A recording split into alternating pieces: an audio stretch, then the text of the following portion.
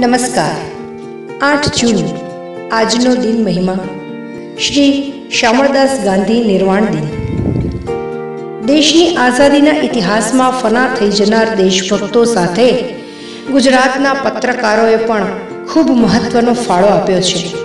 એમાંના એક હતા વીર્યવાન પત્રકાર શ્રી શ્યામળદાસ ગાંધી.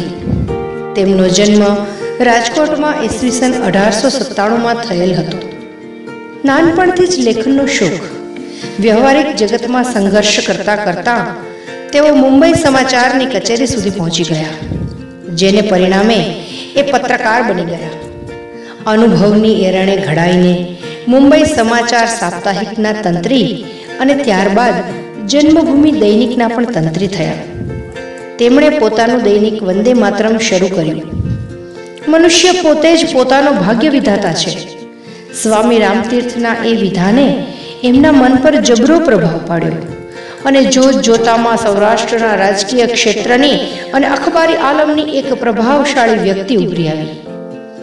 આઝાદી પછી જૂનાગઢના નવાબ જૂનાગઢને પાકિસ્તાન સાથે જોડવા તૈયાર થતા એમણે આરઝી હકુમતની સ્થાપના કરી, હાથમાં તલવાર ધારણ કરી પોતે આગેવાની લઈને નવાબને નમાવ્યો અને ભારતના પ્રજાતંત્રમાં જોડાવા ફરજ પાડી. આ ઘટના માત્ર સ્થાનિક પ્રજા માટે જ નહીં, પરંતુ હિન્દની પ્રજા માટે એક અવિસ્મરણીય ઘટના છે.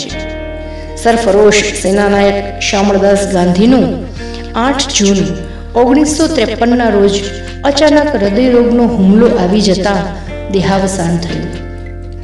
પણ ખરેખર આ સૈનિક પત્રકાર વગર તો જુનાગઢનો વિજય અધૂરો જ રહે.